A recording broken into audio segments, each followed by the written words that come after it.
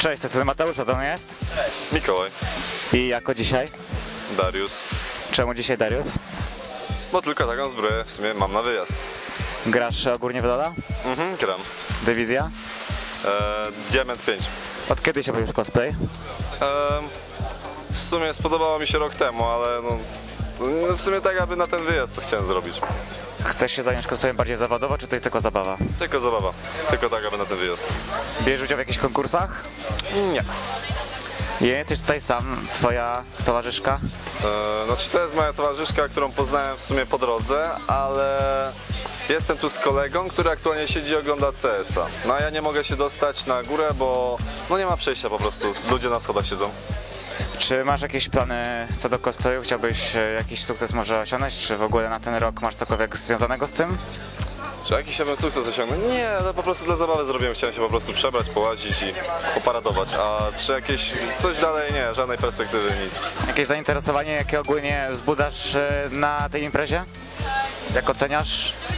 Eee, Jak cię ludzie przyjęli? Znaczy, wydaje mi się, że bardzo fajnie.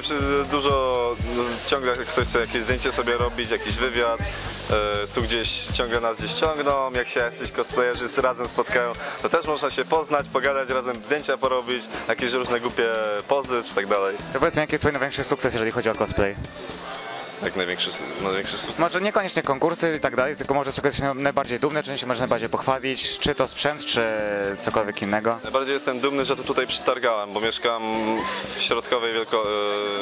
e, w południowej Wielkopolsce i przetargać taki karton 2 na 2 no to jest nie lada wyzwanie i z tym tutaj przyjść i...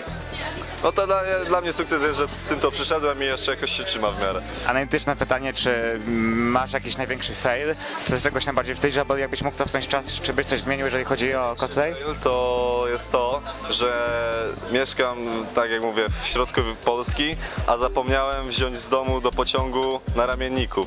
I cudem mój wuja, który mieszka 15 km ode mnie, jechał ze swoim synem na sobotę i podjechał do mnie i akurat wziął te. No to niebywałe szczęście. No i w piątek chodziłem w sumie bez tego, nie?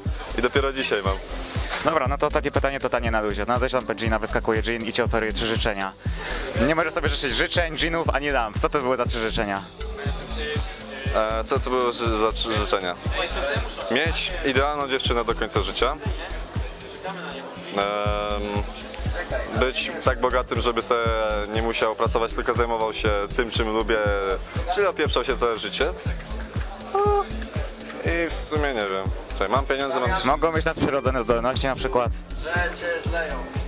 nadprzyrodzone zdolności. To jak mam hajsy i dziewczynę, to co mi więcej potrzeba? Dobra, no to dziękuję Ci bardzo za wywiad. Zapraszam na drugą część do Michała. Ma kilka pytań też do Ciebie. No i życzę powodzenia. Dzięki.